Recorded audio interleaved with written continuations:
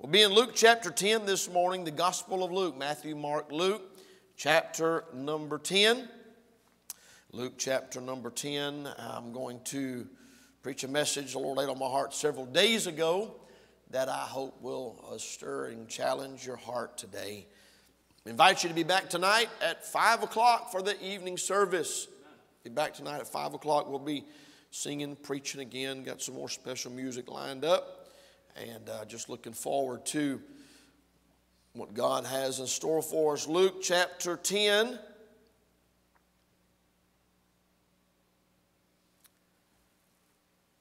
The Bible says in verse number 17 the 70 returned again with joy, saying, Lord, even the devils are subject unto us through thy name. And he said unto them, I beheld Satan as lightning fell from heaven.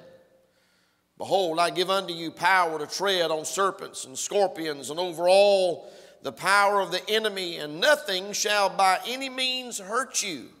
Notwithstanding, in this rejoice not, verse 20, that the spirits are subject unto you, but rather rejoice because your names are written in heaven. I want to preach on this thought this morning taking names. Taking names. Lord, help us, I pray, as we dive into the scripture here and may the word of God speak to the hearts of your people. Pray for the members of Calvary Baptist Church. And we're grateful, Lord, for all of our friends and, and uh, those around the country and even different countries or uh, different nations and different states in the United States that are tuned in watching this morning. We pray that you'd use the service to bring glory to yourself. We pray in Jesus' name. Amen. Taking names. Thinking about names. I get picked on some for my name. I thought about this man walked into a courthouse, demanded to see the judge. They finally led him to the room where the judge was, and judge said, What can I do for you, sir? He said, I want to get my name changed. The judge said, Well, what is your name? He said, Well, my name is Leroy Stinks. Leroy Stinks. I'm tired of people picking on me, making fun of me for my name, and I want to get my name changed. The judge said, Well, son, I don't blame you. Said, You're in the right place. We can definitely help you take care of that. Said, What would you like to get your name changed to? He said, I want to change my name to Pedro Stinks. Pedro, Pedro Stinks. He wanted to get his name changed. But uh, uh, we live in a crazy world. Don't you agree? We live in a crazy world. I was reading Fox News last night, and uh, probably shouldn't, but I did. Uh, here's what the article said. The headline said New York City Mayor Bill de Blasio told New Yorkers on Saturday that they can now snap smartphone photos of social distancing violators and text that to the authorities, and enforcement will come as the coronavirus shutdown remains in place across the Big Apple. Now it's easier than ever, said uh, the governor in a video posted to his official Twitter account. He said it's easier than ever when you see a crowd, when you see a line that's not distance, when you see a supermarket that's too crowded, anything, he says, you can report it right away so we can get there and fix the problem. Then he went on to say, text the photo to 311 692 and action will ensue. How you like that little rhyme? Isn't that interesting? To fix the problem, they're going to just send more people down there. And they're trying to get everybody now to take names and tell on each other and report one another. Let me just say this if you see me violating some social distancing mandate and you report me, I'm going to pray and ask God to let you go deaf right before the trumpet sounds so you'll miss the rapture. We'll see how you like social distancing when you're left here all by yourself. Uh, remember when we were in school, they used to, teachers sometimes would say, I got to step out and, and call on somebody to take names. You remember that? Call on somebody to come, uh, and they would, they would get up out of their seat with this big air of self importance. And they'd go up there, stand by the chalkboard with a piece of chalk in their hand, and they would just stare. And they would just look. And they would watch you. And if you breathed wrong, if you looked at them wrong, they would turn around and they would write your name in big flourishing letters on the chalkboard, taking names. Sometimes they acted like they were getting paid commission. I mean, it was almost as if the more names they could come up with when the teacher was out, the closer they would get to sit to Jesus at the marriage supper of the Lamb. I mean, it was unbelievable at the, at the excitement that they, would, uh, that they would cause taking names. Can I tell you something this morning? God's taking names. God's taking names. Sure, He is. I, I was looking at different places in the scripture. I'm going to give you three different points this morning uh, that you can jot down. Three different groups of people that God is without a doubt taking names of. Number one, He's taking names of the converted. And we see that in our text this morning, Luke chapter number 10. Jesus commissioned these 70 uh, disciples in verse number 1, sent them out two by two. Uh, the ox and the kangaroo. No, that's a different story. Sent them out two by two before his face unto every city. And the Bible says that he sent them out to go and preach the gospel, gave them some pretty uh, specific rules to go by in verse number two and down in those following verses. And the Bible tells us in verse number 17 that when the 70 returned again with joy, they were excited, saying, Even the devils are subject unto us through thy name. And uh, of course, uh, uh, Jesus, being God in the flesh, made a statement in verse number 18 that I know uh, that the Jehovah's Witnesses have a hard time explaining. Jesus said, I beheld Satan cast down from heaven. Now, how you reckon he did that if he originated in Luke 2 and wasn't there way back before the fall of man to see Satan cast down out of heaven? Can I get a witness right there? Jesus said, I beheld Satan as lightning fell from heaven. Behold, I give you power to tread on serpents and scorpions. Uh, there are some groups of people, you go down to the mountains of West Virginia and other places, we got what they call snake handlers. Yeah, they bring snakes into the church in a, in a box or a cage and they get to singing, they get, their, they get all excited, they get all worked up, and they get all psyched out, and the next thing you know, some super spiritual idiot reaches over in that box and grabs a snake. And I ain't talking about garter snakes. We ain't talking about little little pythons, and we're not talking about those little uh, uh, those little harmless things. We're talking about rattlesnakes.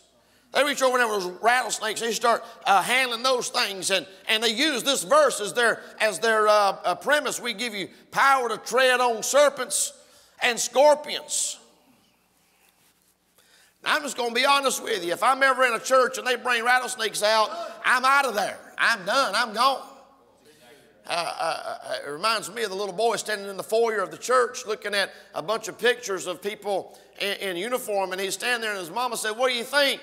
He said, Man, this, is amazing. Said, uh, what, what, what's all, Who's all these people? She said, Well, these are people, members of our church, that died in the service. He said, Was it the morning service or the night service?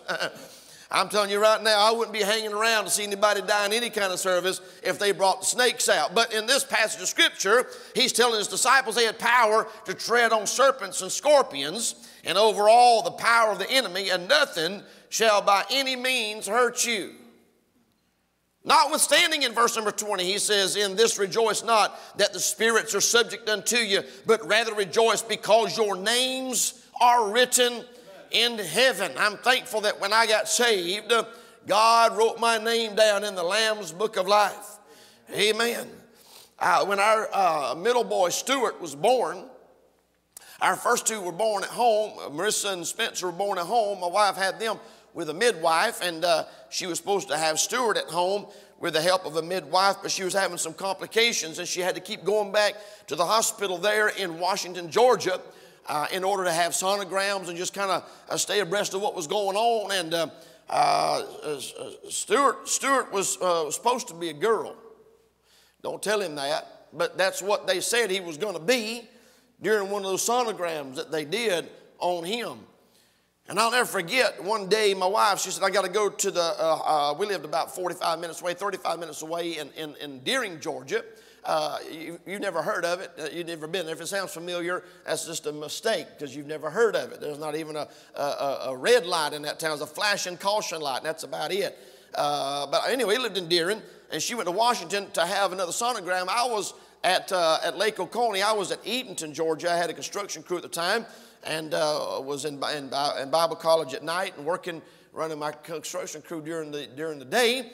And so I was there when uh, I got the phone call uh, that uh, she had gone into labor, early premature labor, while she was having her sonogram, and the doctor said, You better get here, Mr. Shiflett. We're fixing to do emergency C section. I said, You can't do that till I get there. He said, Well, you better hurry. He said, I can't wait long. He said, She's got to, We got to do this. And uh, so I, I told all the guys, I said, Y'all have to just take care of yourself. And I jumped in my truck and drove, probably the fastest I've ever driven in my life.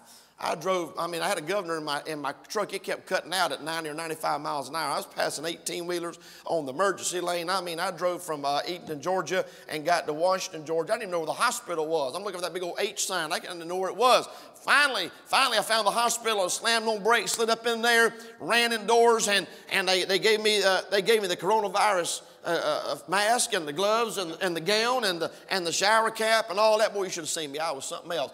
And, and man, a minute I walked in the operating room, they started cutting. They started the, uh, the process and, and had that emergency C-section. And Stuart was born.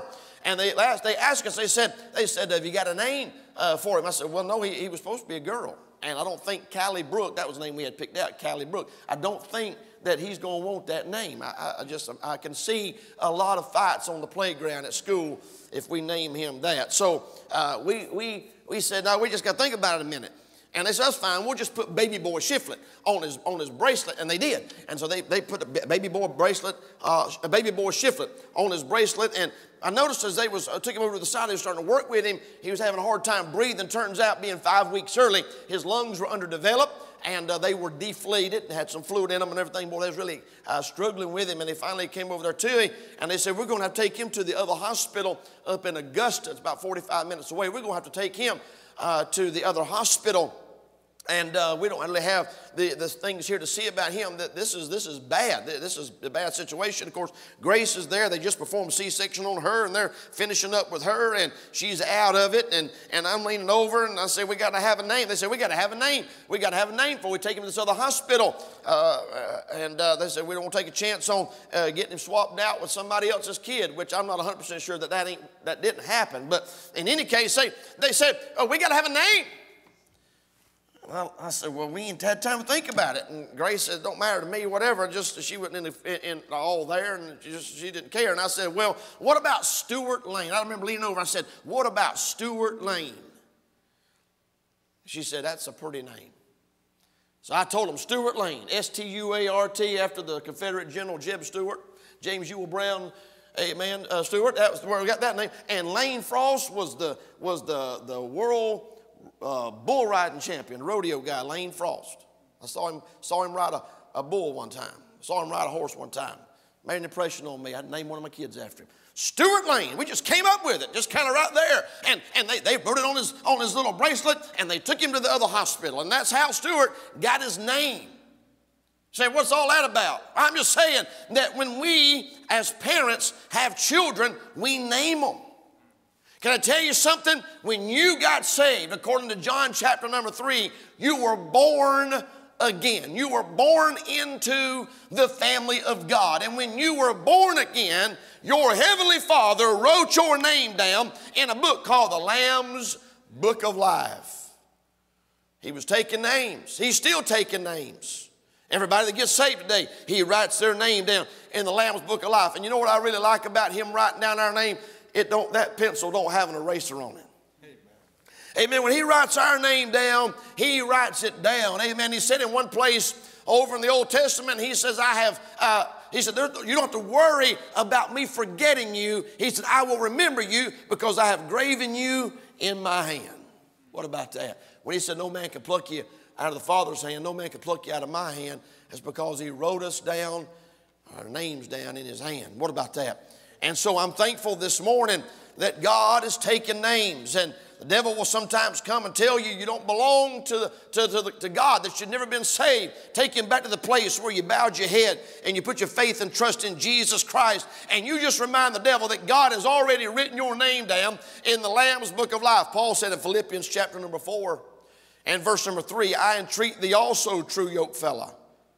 Help those women which labored with me in the gospel with Clement also, and with other my fellow laborers, whose names are in the book of life. What about that? Paul the apostle, he believed also that the Bible teaches that when a person gets saved, God writes their name down in the book of life. I'm grateful this morning that my name is in the Lamb's book of life. I'm uh, just, I'm thinking this morning about all the different uh, names that people go by. Uh, I got picked on, I get picked on a lot for my name.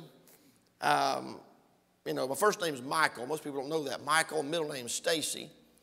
And uh, before you say that's a girl's name, you need to understand I was named after that character on the Virginian.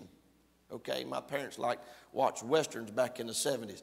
And I was named after that guy named Stacey. He was a man, by the way, named Stacey on the Virginian.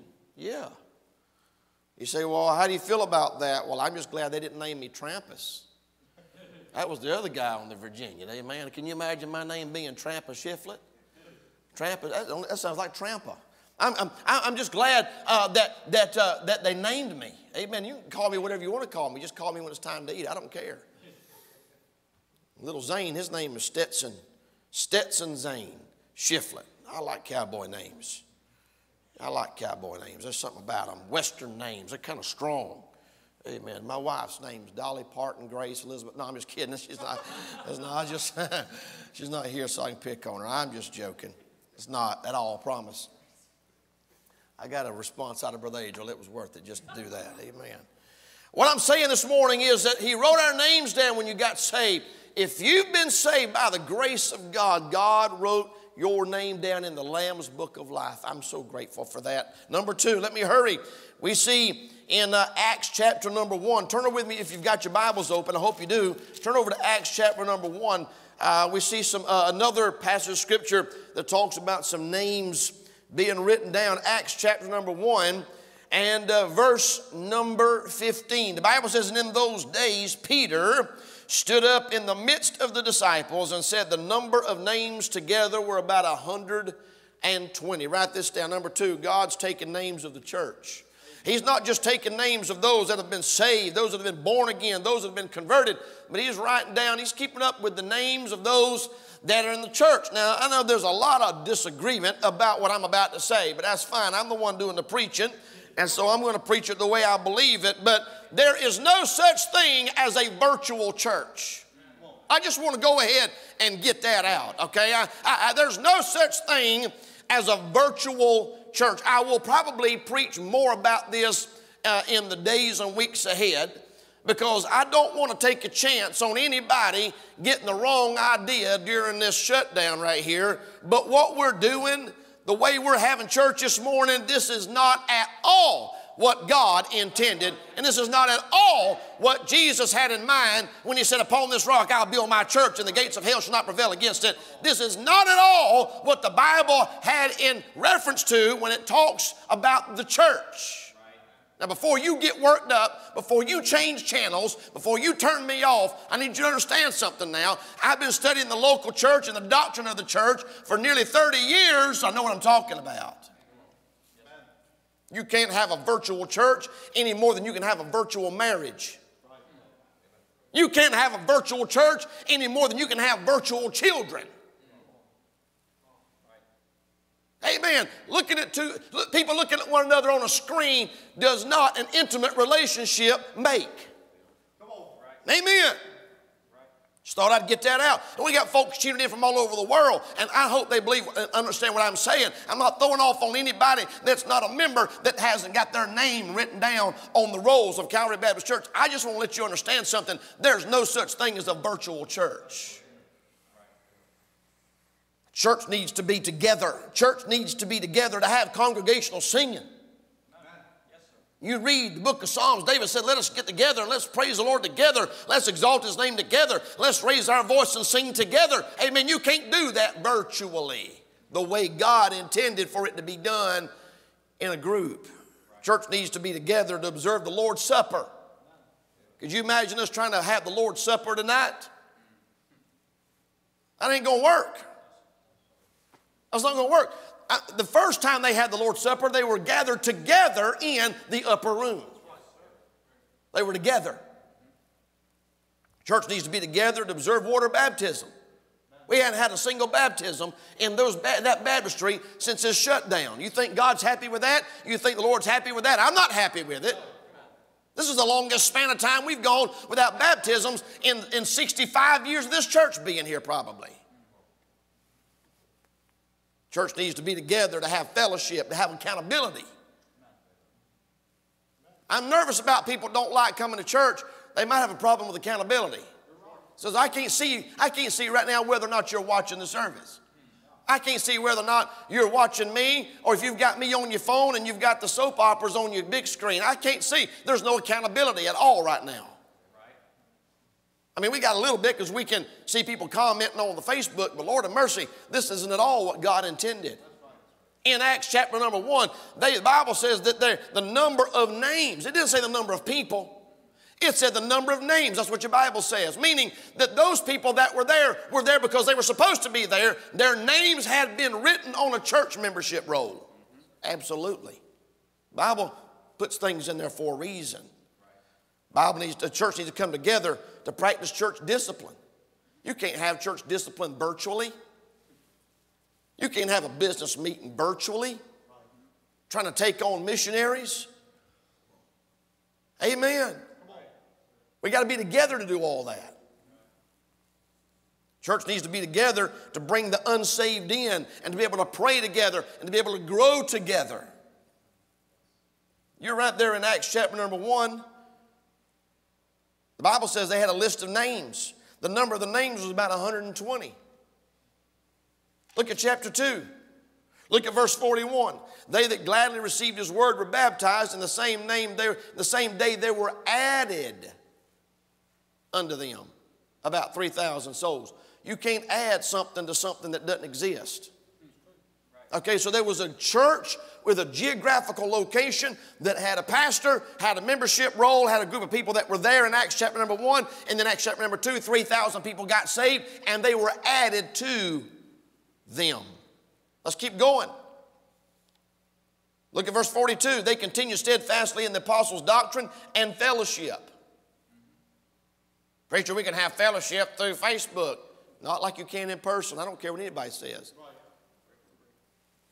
It's a poor, poor excuse. It's a poor substitute. I came up here Friday night and I sang for an hour and a half to an empty church. Wasn't the same. And God met with us. I got the crown on one song, backed up and sung the whole thing again. I mean, God, God's, but I mean, God does that with me when I'm by myself. That ain't nothing new. I get up here sometimes and sing and get to crying and God gets to speak into my heart. Ain't nobody else in here to see it or hear it. You being on Facebook didn't make that happen. That was just me worshiping God, and you got to watch it. But I'm telling you right now, it ain't the same. They were fellowship and they continued steadfastly in the apostles' doctrine and fellowship. Look at what it says in verse 44 and all that believed were together. I'm not going to get it. If you disagree with me, please don't, don't, don't, uh, don't, don't text me don't get on my, my, my, my, social media and try to reprove me and rebuke me. Just keep your opinions to yourself. Well, you can have a virtual meeting. I was on a virtual phone call yesterday. I had a, there was dozens of pastors for an hour and a half. I had my earbuds in, and for an hour and a half, I had a conference call with dozens and dozens of pastors from the Northeast region talking about churches being shut down and what we can do. And I'm just going to be honest with you right now. You can say whatever you want to say. Yes, we were in on a conference call, but we were not together. We're not together. We're not together this morning. We're doing the best we can under the circumstances, but man, this, this, is, this is tearing my heart out this morning preaching to an empty church. Because we've got church members whose names are on the roll and they're supposed to be here. And we're all supposed to be here together. That's the way God intended, according to Acts chapter number 2. They that believed were together and had all things common. Look at verse number 46. And they continuing daily with one accord in the temple and breaking bread from house to house did eat their meat with gladness and singleness of heart. The Lord added to the church daily such as should be saved. Verse number 47. People were getting saved and joining the church, getting baptized every day. I said, Preacher, what are you saying? I just need to get that off my chest. And I'll say more about it later. I'll preach a little bit more about it later. I don't think any of our church members will disagree with anything I just said. And we're having to deal with what we're dealing with right now. But this is not what God intended. And I'm not happy with this. I'm not, I'm not going to settle for this. In fact, I, I, I got on the phone yesterday morning and I called and organized a meeting with local pastors in Maryland. We will be meeting this week and talking, and we've already written a letter. I wrote, spent most of yesterday comp- composing a letter to our governor, and we're just letting him know that we're not happy with this 10 people minimum in our churches. I mean, we got enough room in here. We can have a whole lot more people, still practice social distancing. Families are living together. Why can't they sit on a pew and go to church together? It makes no sense to me. Say, well, you ought to just be happy we can live stream. I'm not just happy we can live stream. I want to be in here with my church family. I'm doing everything I can within means and within reason to try and get things changed and make a difference and push back a little bit on some of this stuff. I don't think it's right for the liquor stores to be open and the, uh, and the marijuana dispensaries to be open and the abortion clinics to be open and the hardware stores to be open and the churches are shuttered. Churches are closed. I don't like it. I don't agree with it. And if you don't like what I'm saying, please keep it to yourself because it ain't going to make no difference with me. You ain't going to change my mind one bit. I'm dead set on it that I'm right. This is how God intended to be. In fact, in Hebrews chapter number 12, Hebrews 12 and verse number 23, in verse number 22 down through verse 24, look at it. Hebrews 12, verse 22. And, But, uh, but ye are come uh, unto Mount Zion and unto the city of the living God and the heavenly Jerusalem and to an innumerable company of angels, to the general assembly and church of the firstborn, which are written in heaven. What about that? And to God, the judge of all, and to the spirits of just men made perfect, to Jesus, the mediator of the new covenant, to the sprinkling of blood. And he goes on and on. He's talking about when we get to heaven, there's going to be a new Jerusalem, there's going to be an innumerable company of angels, and there's going to be a, the general assembly and church of the firstborn, which are written in heaven. I looked up that General Assembly. That's the only time you find that phrase in the Bible, by the way. General Assembly in the Greek, Panegyris, it means a gathering of the whole people to celebrate public games or other solemn events. What about that? The word church in this passage of Scripture is translated ecclesia in the Greek, a gathering of citizens called out from their homes into some public place an assembly, an assembly of the people convened at the public place of the council for the purpose of deliberating. An assembly of Christians gathered for worship in a religious meeting. That's what General Assembly and church in verse number 23 is talking about. Is talking about the collective body of Christ in a group and their names are written in heaven. I'm not making that up. That's what the Bible says. To the General Assembly and Church of the Firstborn, which are written in heaven. Jesus said, Upon this rock I will build my church. Don't you think if he's going to build a church, he's going to keep up with who's a part of it? You better believe he is. he's going to keep up with who's a part of it. I just thought I'd throw that out there. Amen. He's, God's taking names of the converted, He's taking names of the church. Thirdly, let me hurry. Is everybody still with me? Well, the same people that was here when I started still with me. Amen. In Revelation chapter 2 and 3, turn over there, Revelation chapter number 2 and 3. I'm trying to wind this thing down. Revelation chapter 2 and verse number 3. Jesus is talking to John on the Isle of Patmos about seven churches, and he's talking to seven churches. He's giving him a message for seven specific, by the way, seven specific geographical located churches. Now, there's a lot of people that likes blowing that universal church horn. It's a universal church. There's this one church. Will you tell me why he had seven specific, very specific messages to very, seven very specific churches if all the churches is just one church?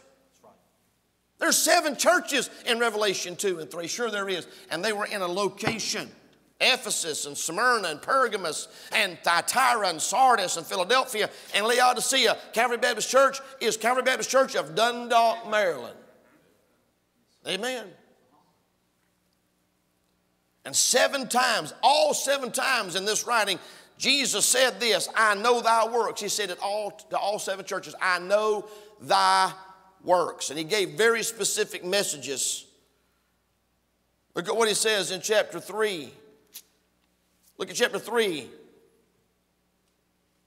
verse number 4.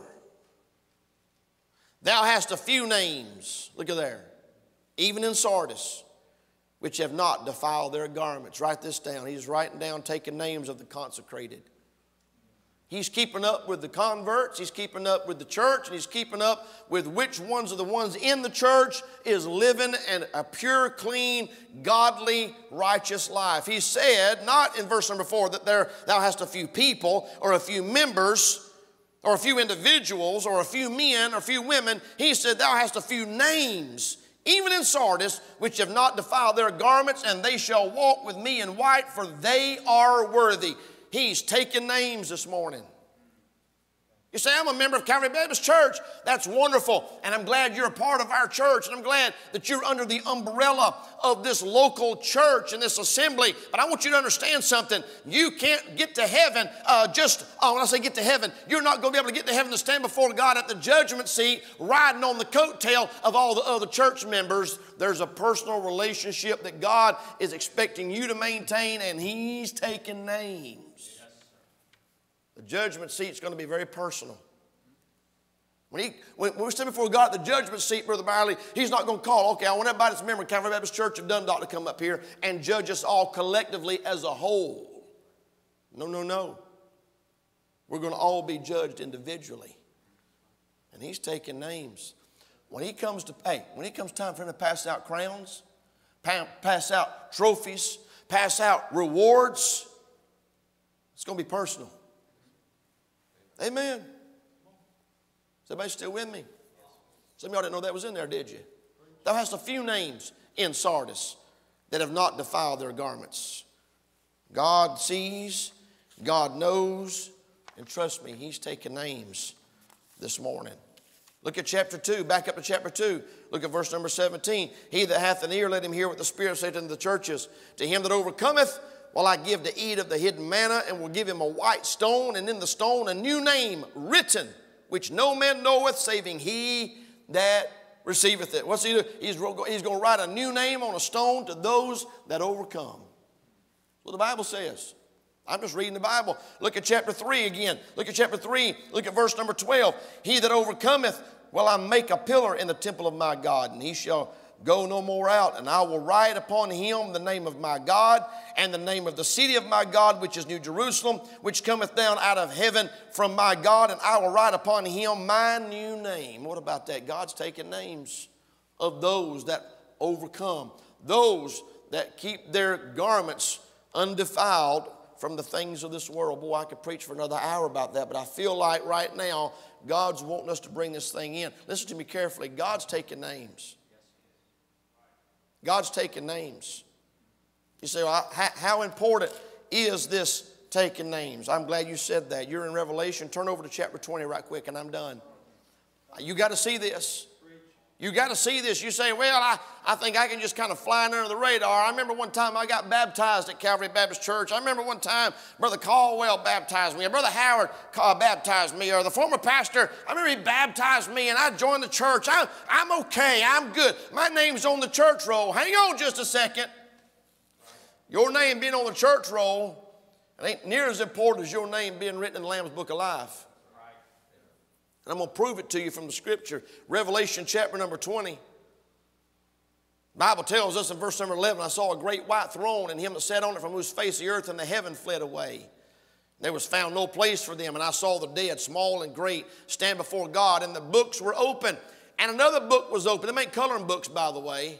Those ain't comic books. Those aren't picture books. Those ain't coffee table books with beautiful pictures of America and trains and guns and tractors. Oh no, these books right here, it's got something far more important in them than that. Listen to what he says. The books were open, and another book was open, which is the book of life. And the dead were judged out of those things which were written in the books according to their works.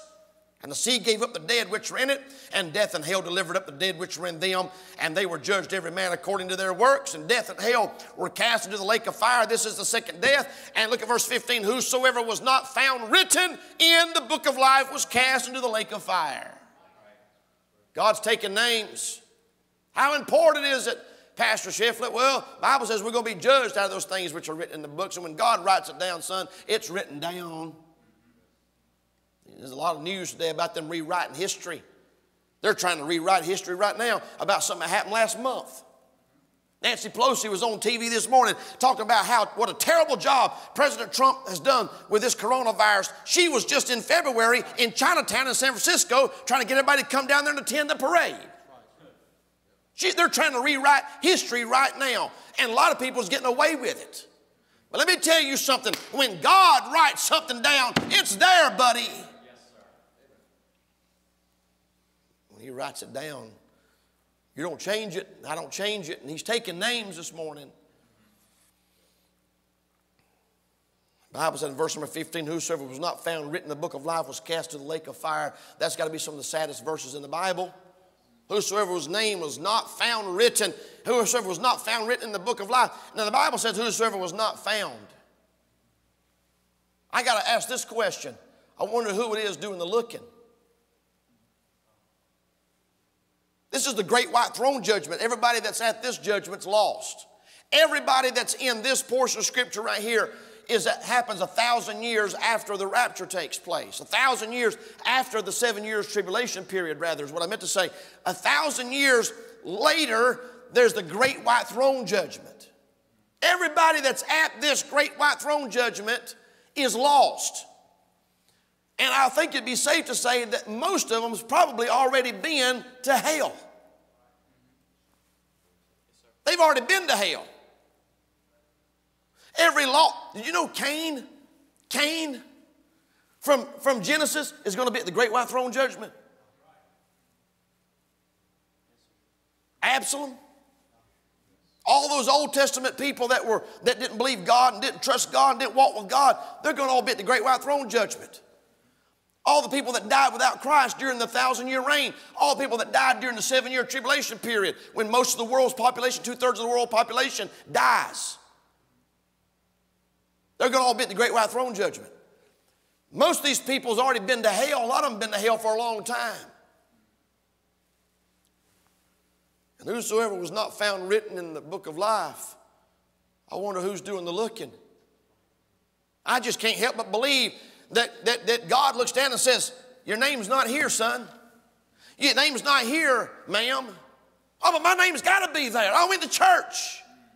My daddy was a preacher. My mama will, uh, played the piano. My, uh, I sang in the choir. My kids went to Calvary Baptist School. Surely my name's got to be in that book somewhere. And I can almost imagine God saying, Well, here, if you can find it, you can go to heaven. See if you can find it. And they're going to look and they're going to search and they're going to look and they're going to search frantically, desperately. But their name's not going to be found because it's not there.